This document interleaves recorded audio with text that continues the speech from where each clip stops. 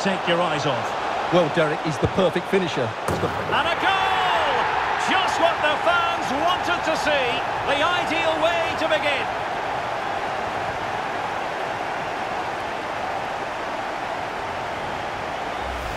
Well, here's the replay, and just look how quickly they break forward once they win the ball back. But there's still plenty to do from here. He hits it so well, though. Lots of pace, lots of power, and the keeper just can't react in time.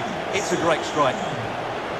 Action underway once more. A wake-up call for the Real players, maybe. And oh, from miles out, he's done it!